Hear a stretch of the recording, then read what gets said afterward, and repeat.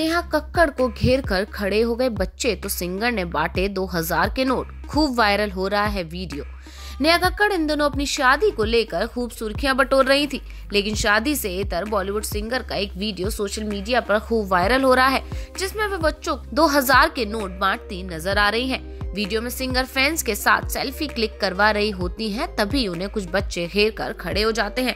उन्हें देखकर नेहा कक्कड़ अपने पर्स से 2000 का नोट निकाल कर बच्चों को देती है।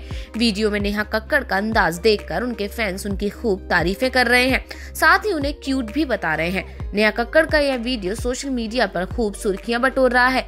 वीडियो में जैसे ही नेहा कक्कड़ अपने आसपास खड़े बच्चों को देखती है, वैसे ही वह पर्स से 2000 की नोट निकाल कर बच्चों को दे देती है और उनसे कहती है कि आपस में बांट लेना। लेकिन उन्हीं में से एक बच्ची ने सिंगर से कहा कि वह नहीं देगी। इस पर नेहा कक्कड़ ने दूसरी बच्ची को भी 2000 का नोट निकाल कर दे दिया।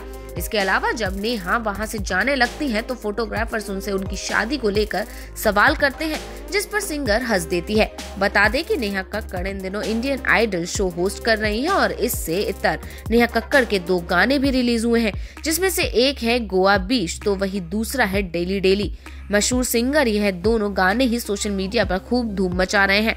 गोवा बीच में नेहा कक्कड़ अपने भाई टोनी कक्कड़ और आदित्य नारायण के साथ दिखाई दी है।